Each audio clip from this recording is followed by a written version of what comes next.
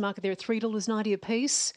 Dairy Express box three. Overflow Lisa in seven. Stand by for a start. Green light on here at the Meadows. The third about to jump as we welcome our listeners on RSN and Sky Racing to the coverage here at the Meadows. They're off and racing in the third. And Dairy Express got away to a lovely start. Leads early on at the judge the first time. Big Wings now looms up in a second. Dropping in behind them is Mapunga Maggie as they make their way down the back. So Mapunga Maggie just shifted out a little there in, in, advance of Colden Dato.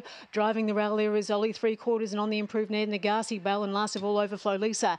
As they run off the back heading towards the turn, Dairy Express the leader. Leads here a length and a half. Big Wings looms up as a danger. Mapunga Maggie third around the turn, going to the line. It's Dairy Express overtaking Big Wings. Big Wings gets up the line.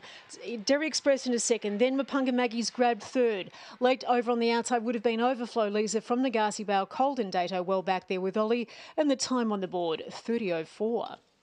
30.04 the run.